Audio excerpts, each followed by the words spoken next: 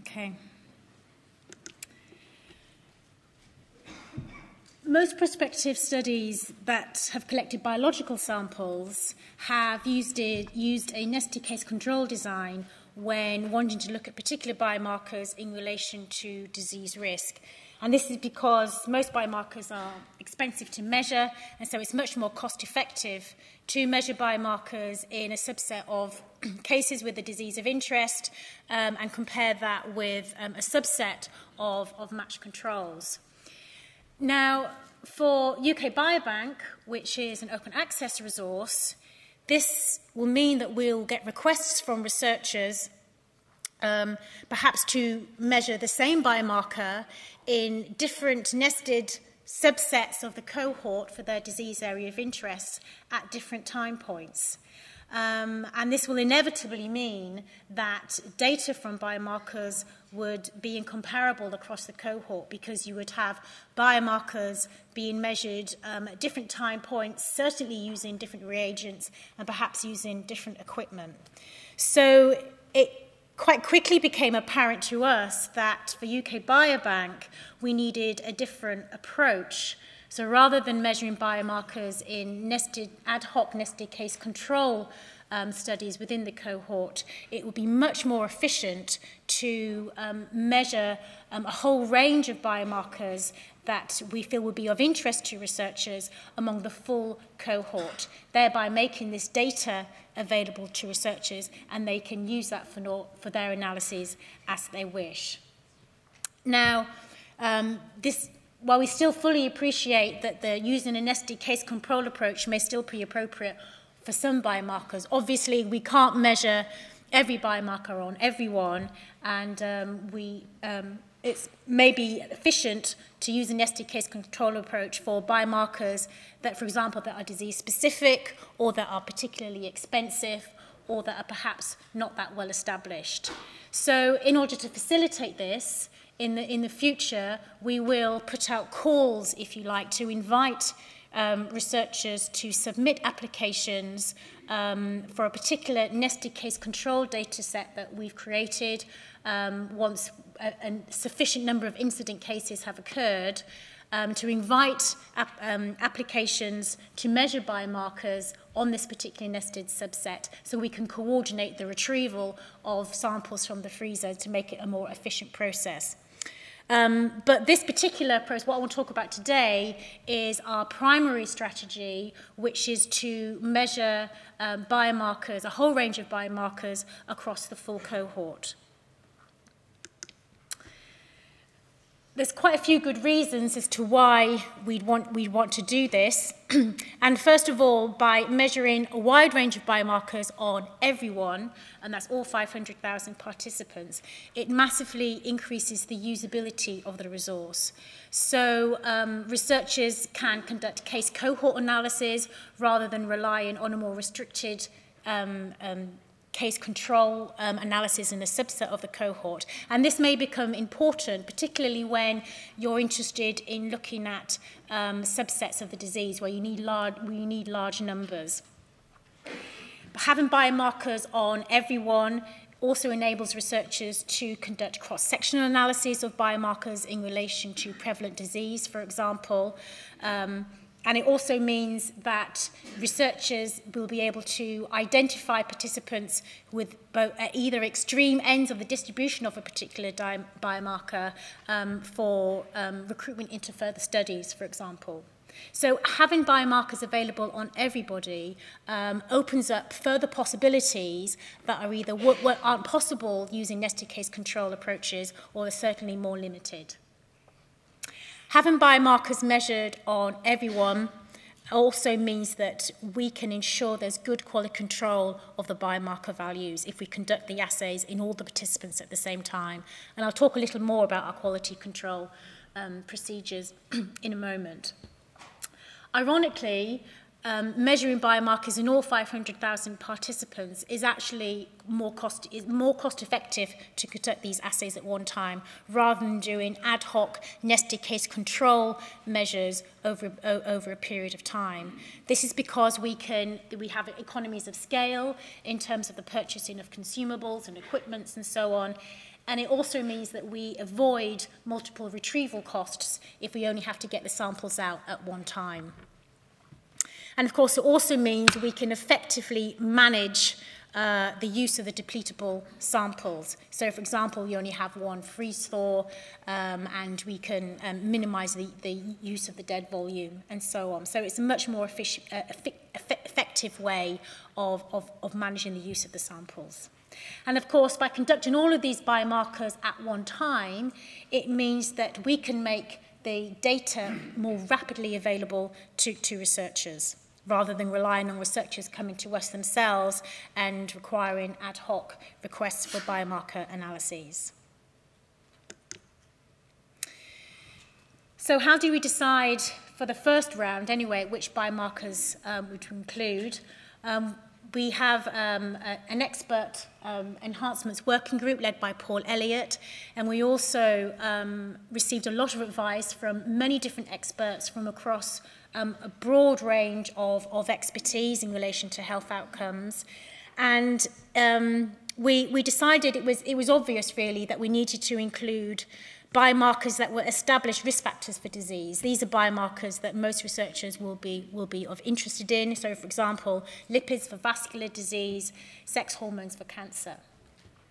We also felt it was important to include some diagnostic markers, so uh, early, early markers of disease, so for example HbA1c and glucose for diabetes, rheumatoid factor for rheumatoid arthritis. And we also felt it was important to include biomarkers that would characterize phenotypes that were otherwise um, not possible to assess. So, for example, biomarkers to capture renal and liver function. So, after much to-in and fro-in, um, we, these are the, the list of 36 biomarkers that we've decided to include in this, in, in this, in this initial round of biomarkers, as I said. As Rory alluded to earlier, um, we are considering other biomarkers um, to be done in subsequent um, rounds, but these are the lists that, are, uh, uh, are, that we're currently um, starting to measure at the moment. And I've grouped these 36 biomarkers into broad areas of disease interest, although for almost all of them, um, they're, they may be of interest to a wide range of disease outcomes. So you can see, for example, a whole range of lipids in relation to um, cardiovascular disease that we're measuring, including inflammatory markers like C-reactive protein, fibrinogen, and so on biomarkers that will be of primarily of interest to cancer, but also other disease areas such as the sex hormones, growth factors, sex hormone binding globulin, biomarkers of interest to um, researchers interested in bone and joint disease, so vitamin D, rheumatoid factor, alkaline phosphatase, and so on. Um, a broad range of liver enzymes, as you can see, and proteins, diagnostic markers for diabetes, as I've mentioned, and a whole range of biomarkers that are useful for um, assessing kidney function. So these are the list, uh, these are the biomarkers that um, we're, we're currently assaying.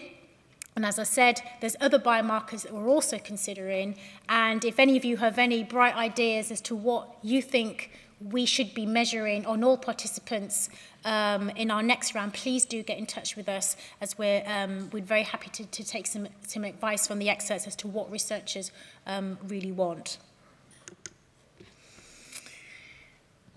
One of our um, key objectives on this is to ensure that we achieve um, really good quality control. It's really important going through this project that all the biomarker valuables, uh, all the biomarker values are comparable across the entire cohort. And the way the samples are stored in the freezers, what Tim showed you in those slides earlier, is they're, they're stored Um, they're sort of clustered in the freezer according to assessment centre, time of day of blood collection and so on. So if you pull out the samples from the freezers and put them one by one onto the, onto the assay batches, um, it will be impossible for us to determine whether any changes in biomarker levels between the different assay batches are due to differences in the assay performance due to interbatch variation or whether they're simply due to um, clustering of certain participant characteristics across the different batches.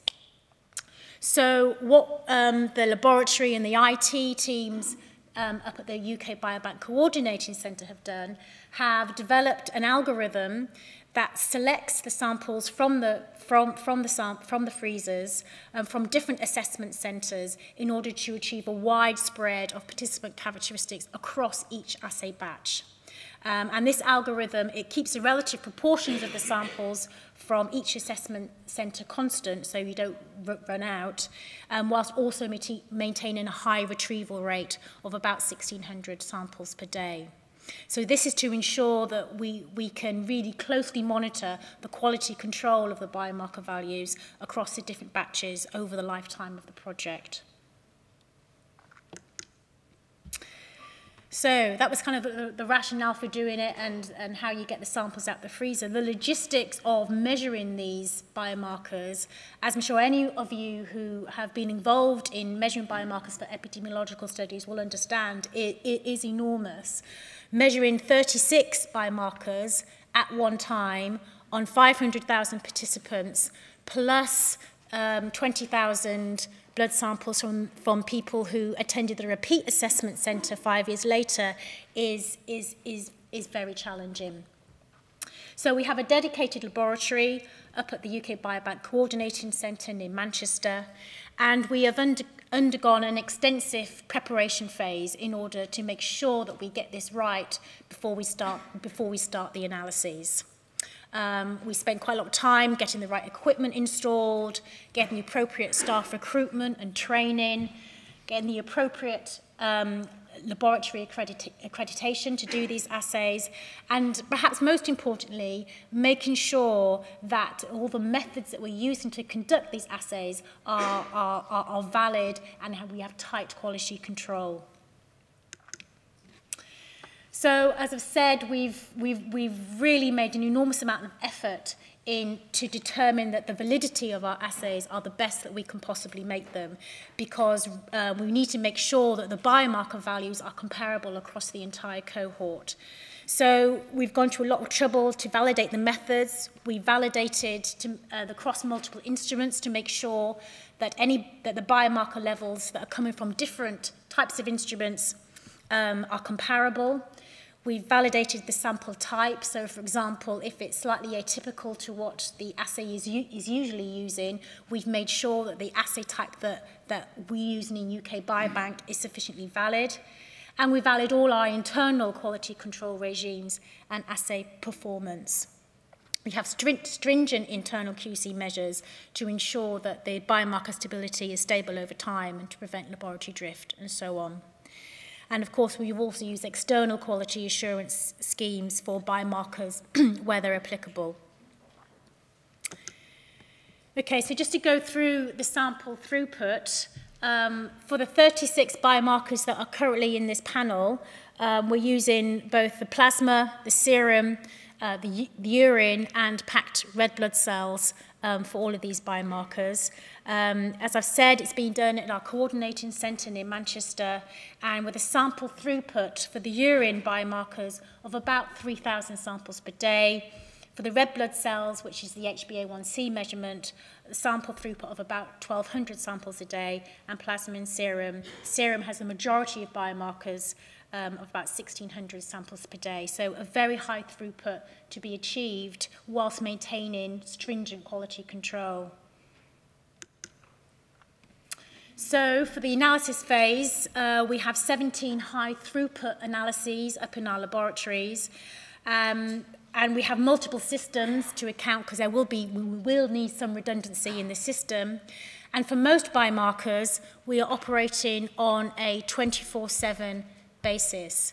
Now, um, this is pretty unheard of as far as I, I'm aware of most epidemiological settings, and this is a good example where we have the academic community providing us with, with, with what they want. These are the biomarkers that we think will be important to the scientific community, and then taking an industrial approach as to how to achieve what the researchers want in a, a rapid amount of time, but ensuring that the, the, that the methods are of, of high quality as possible. So just finally, to give you an indication of the timelines of when these data will be available, we are going to undertake a phased approach because this slightly simplifies what is, what is an incredibly complex process and we will um, analyze just a single sample type on each analyzer at any given time so we can minimize cross-reactivity. So the urinary samples um, that, that are starting now, they will take about six months to conduct these assays on all 500,000 participants. So we would anticipate that those data would be available for public use um, by the end of this year, or certainly by the beginning of next year. For the red blood cell sample, which is the HbA1c measurement, that is also starting now, and that will take longer. That's about 14 months, so the data should be available by September um, of next year.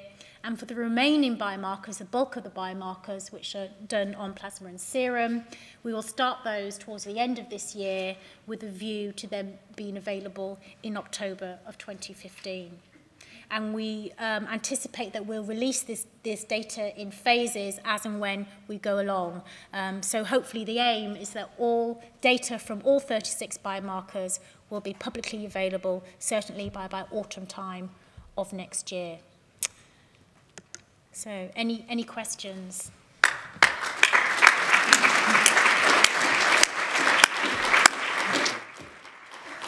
and I should say that this is also um, an example where um, uh, the funders extended in terms of the support of the, the study um, beyond the core funders to uh, include the British Heart Foundation and Diabetes UK, um, who helped to support the, these assays. And uh, um, we're certainly looking for more funders to, to join in this game. Um, so, so questions um, either to Naomi or on uh, lab questions, I'm sure Tim will have a go.